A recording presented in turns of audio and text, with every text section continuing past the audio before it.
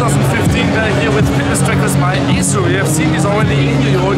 Now here we have the Liquid Leap Fit in our hand, which means that we also have here a rate sensor inside. I will show you guys that in a second. First, it works with Android, iOS and Windows phones. So Acer also has Windows phones, so they decided to make the fitness trackers also possible to use here with that Manager is quite nice to see the, the steps, the heart rate, it can have achievements and also it tracks how you sleep, so that's also um, quite nice. So we just have to double tap it to wake it up.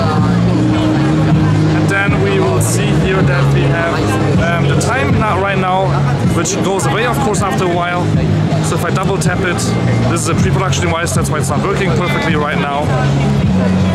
Here we go, then we can just go and check how many steps we went, how many miles, how many calories we burned, how many minutes we were active, and then we can also check in our apps, for example, what music we are listening to right now, or just go back home again, and so on. So there's quite a few uh, functions here, and if I take it out of the um, case, which is of course available in different colors, like for example black, gold, or whatever other color you would want, silver.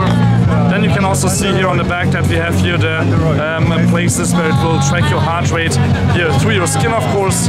And it's a quite tiny little thingy that you could even also easily lose, but that's why you should have it just around your um, yeah, wrist all the time. So this was a really short hands-on. If you want a little bit nicer, bigger screen, not just one inch, but 1.4 inch maybe, the Leap Curve will also come out soon, um, but more about that later when it will be really available also with a um, heart rate sensor inside.